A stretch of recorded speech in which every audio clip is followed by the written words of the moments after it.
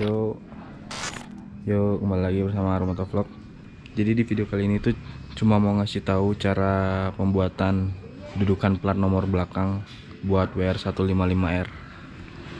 Soalnya ini ganti dudukan plat nomor lagi sih. Yang awalnya dudukan plat nomor belakang sebelumnya kan pakai plat kuning biasa. Itu dia kayak ada suara getar, getar baut kayak gitulah. Makanya bikin lagi jadi kayak gini hasilnya. Dudukan plat nomor belakangnya. Ini bukan plat asli sih. Ini bikin lagi platnya. Ya sebenarnya sih kalau plat kayak gini tuh ya nggak akan kena tilang. Asalkan ya satu angkanya ini tuh. Bentar rokoknya dilepas dulu. Asalkan satu angka ininya itu D525 ini tuh angkanya itu disamain sama STNK jadi jangan dibedain. Terus kedua ini. Apa? Bulan sama tanggalnya ini disamain juga sama di STNK sama plat nomor aslinya lah. Jadi jangan dibedain. Atau jangan di misalnya pajaknya udah mati terus bikin plat nomor kayak gini tanggalnya dirubah. Jadi biar kelihatan pajaknya masih hidup. Padahal mah udah mati STNK nya jadi kayak gitu. Terus yang ketiga itu ya fontnya font ininya tuh font huruf semua angkanya itu jangan pakai font yang aneh-aneh. Ya pakai font standar lah. Font standar kayak plat standar plat aslinya. Terus ya jangan ada stiker-stiker di sinilah pokoknya. Jadi ya kalau apa nggak mau kena tilang karena plat kayak gini tuh ya tadi tiga poin tadi. Angkanya jangan dirubah tanggal ininya juga jangan dirubah tanggal bulannya. Terus fontnya jangan pakai font yang aneh-aneh. Pakai font standar aja. Sebenarnya ini cuma dikecilin doang sih ukuran platnya. Dari plat aslinya kan gede. Jadi cuma dikecilin doang supaya muat lah. Soalnya kemarin tuh mentok di ujung sana tuh. Kena kenal pot kalau plat aslinya. Jadi ini tuh sebenarnya pakai dudukan plat nomor belakang punya KLX cuma saya custom lagi di tukang las. Karena kalau pak langsung pasang itu tuh posisinya di sini. Jadi dudukannya di sini. Nanti dia ke sini jadi posisi plat tuh di sini gini. Jadi takutnya kalau posisi platnya kayak gini tuh nanti dia pas kondisi shock breaker belakang main takutnya mentok di swing arm atau enggak mentok di ban plat nomornya jadi makanya sama saya di custom lagi. Jadi di custom ya habis-habis total mah habis 65 ribuan lah. Nggak mahal-mahal amat.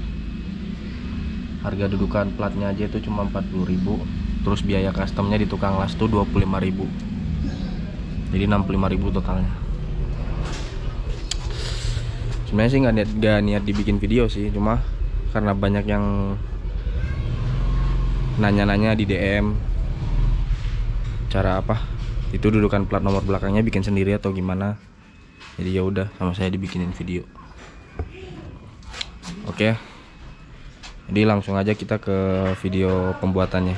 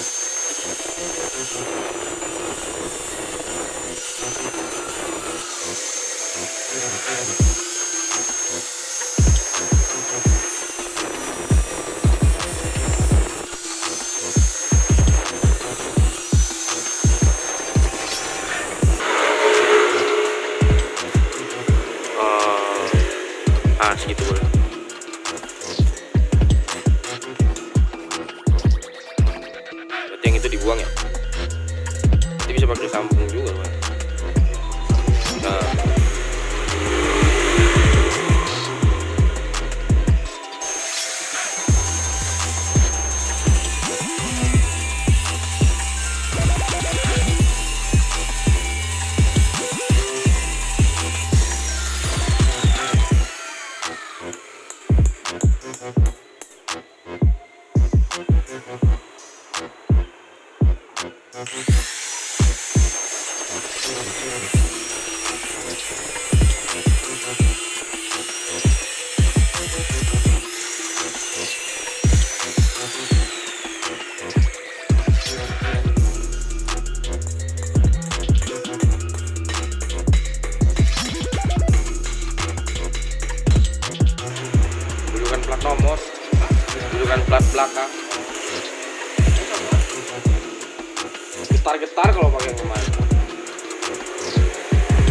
Ya ada bunyi-bunyi mur kalau digas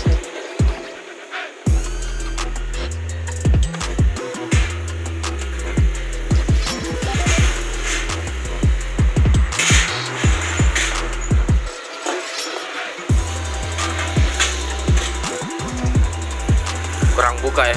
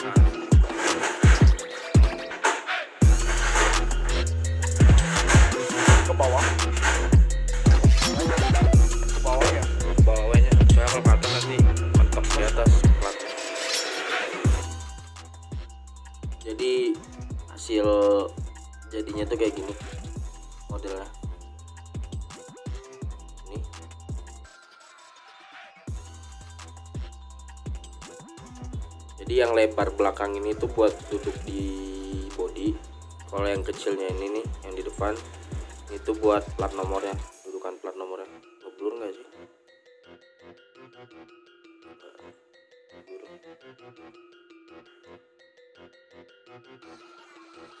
Kenapa gini posisinya? Gini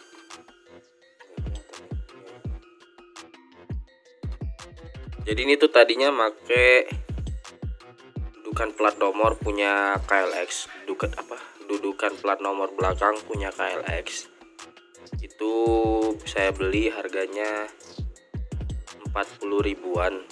Dudukan belakang KLX dudukan plat nomor belakang KLX saya beli harganya 40 ribuan.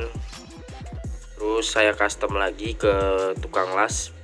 Dibikin ke tukang las lagi itu tadi habis 25.000 jadi dipotong terus dilas lagi habis 25.000 ya lumayan lah. Berarti totalnya itu habis 65 ribuan. Daripada nyari bahan sendiri kan. Jadi mending saya beli punya KLX kayak gitu terus saya custom lagi. Nah kalau pakai bahan sendiri nyarinya juga susah sih mungkin lebih mahal juga. Biasanya kayak gini plat nomor dudukan plat nomor belakang buat WR 155 kalau dudukan yang sebelah sebelumnya tuh ya kurangnya suka ada suara getar kayak gitu. Kalau pas digeber tuh kadang suka ada suara getar kayak suara mur kayak gitulah baut kayak gitu. Jadi ini besok baru dipasang soalnya ini baru dicat tadi baru di apa dicat warna hitam. Soalnya kan banyak bekas las-lasannya kan. Jadi biar rapi dicat warna hitam lagi. Jadi nanti besok baru lanjut videonya lagi. Oke jadi kayak gini jadinya. Plat nomornya dudukan plat nomornya. Yang kecil ini nih. Yang kecil ini buat plat nomor gedenya buat duduk di body. Saya bebas sih mau ditukar yang kecil di belakang atau yang gede atau gede yang di depan juga bebas.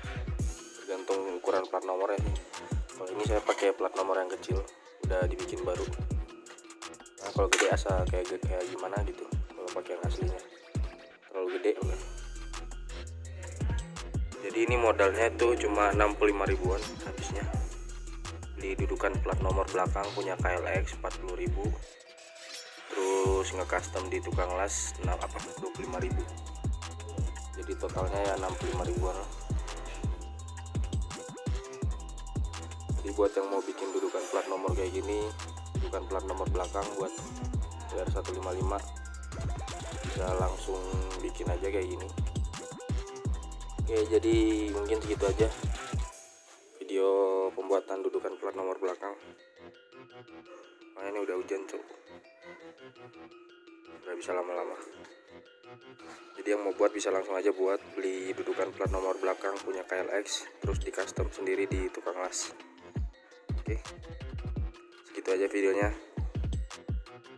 See you next video